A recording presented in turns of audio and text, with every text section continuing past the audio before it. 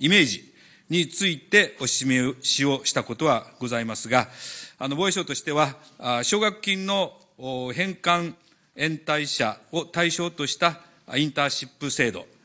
えー、これについては検討は行っておりませんし、また今後、検討を行う予定もございません。山本君。今お話しいただいたのは、社会人っていうことですか、ごめんなさい、えーと、その検討されたというか、その話し合いの場に上ったというのは、そういうことですね、奨学金のことは上ってないけれども、その社会人の教育訓練というような部分に関して上がったっていうことでよろしいですかね、ごめんなさい、そうなのかそうじゃないのかだけお答えください。中谷大臣。はい、これはあの企業が新規採用者を2年間自衛隊に実習者として派遣するというプログラムのイメージでございまして、社会人のことでございます。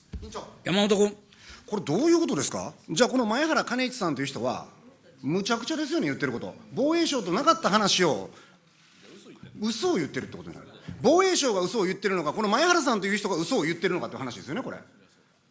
こういう方が奨学金に関わって、今、若者たちが首が締まっているような奨学金に関して、いろんな意見を言うってこと、すごく問題ですよ。これ、前原さんが嘘を言ってるのか、防衛省が嘘を言ってるのか、防衛省にもう一度お伺いします。今のご発言、間違いない話なんですか？イエスかノーかで結構です。中谷大臣。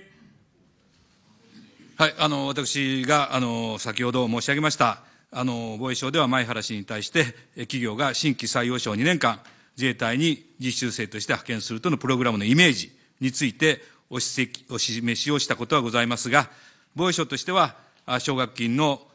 返還延滞者を対象としたインターンシップ制度については検討は行っておりませんし、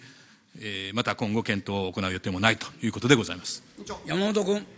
なるほど。ということは、前の経済同友会の専務理事である前原兼一さんが、とんでもない人だっていうことが、今、防衛省が嘘をついてないんであれば、とんでもないということがはっきりとしたという話ですね。一度この方、参考人として呼んでいただきたいんですけれども、これ、あの理事会で協議していただけないでしょうか、委員長。後の理事会で協議をいたします。委員長。山本君。ありがとうございます。えー、昨年の7月1日、憲法違反の閣議決定をした直後にですね、全国の高校3年生に一斉に自衛隊からお手紙が来ました。ダイレクトメール、郵送されてきたんですね。これインターネットでも諏訪赤紙、赤紙来たっていうふうに大変に話題になりました。これは法令に基づいて全国の市町村から情報提供を受け、全国の高校3年生の個人情報を、えー、名前、生年月日、性別、住所の4情報を、えー、収集して行ったという話なんですけれども、防衛省、現在持っている全国の高校3年生の個人情報、今何人分あるんですか、この情報、今後どうするんでしょうか？中谷大臣。はい、あの自衛隊の募集に関して必要となる個人の氏名、生年月日等の情報は、自衛官募集を目的といたしまして、それぞれの自衛隊地方協力本部において用いられるものでございます。全国の地方協力本部において、こうした情報を何名分保有しているかにつきましては、集計をする必要がないため、集計をしておりません。で、自衛隊の協力本部では取得た取得した情報を自衛官募集にかかるダイレクトメールの送付のために利用をいたしておりますが、自衛隊の地方協力本部において、こうした情報の利用目的の達成に必要な範囲のみで保有することを徹底することを含めてですね、まあ、今後とも法令に基づき、適正に管理するように努めているわけでございます。また、これの保管等につきましては、あの、1年以内にですね、あの、消去をいたしておりまして、えこの個人情報等につきましては、法令上、個人情報ファイル等の作成、公表を要しないということに、まされて、あの、厳正に管理、また、あの、対応しているということでございます。山本君。これね、非常に不気味なんですよ。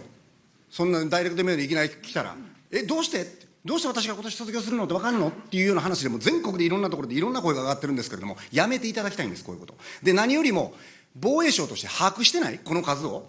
あまりにもおかしくないですか ?18 歳に該当する人たち120万人近くいるんですよ。ひょっとしてその人たちの情報すべて持ってるかもしれない。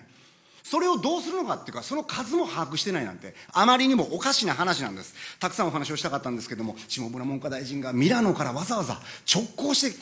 あのくださったんですね。本当にありがとうございます。お疲れのところ、いろんなお話伺いたいんですけども、あの、もうポイントでいきたいと思います。え大臣は、交通維持育英会の交通維持小学生の第1期生ですよね。もう本当に奨学金を受けている人たちの星だと思うんです。え経済的格差を利用して兵員を確保すること、経済的徴兵制、問題になるのは、私、やはり日本の奨学金制度に問題があるからだと思うんです。各省庁を見てみても、これ、給付型の奨学金があるのは防衛省だけなんですよ。おかしいでしょ、こんなこと。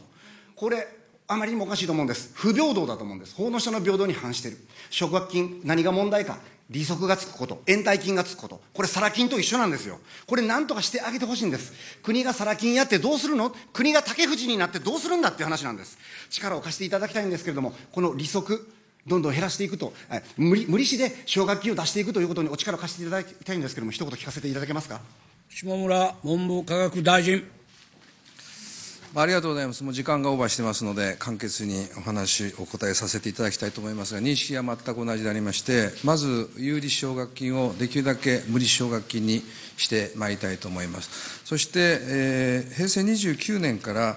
所得連動返還型奨学金制度の導入について、今、検討しているところでございます。年収300万以下であれば、返還しなくてもいいと、まあ、いうような形を取ることによって、す、えー、べ、ての意欲と能力のある若者がチャンス、可能性が広がっていくような、まあ、そういう奨学金制度充実をさらにしてまいりたいと思います。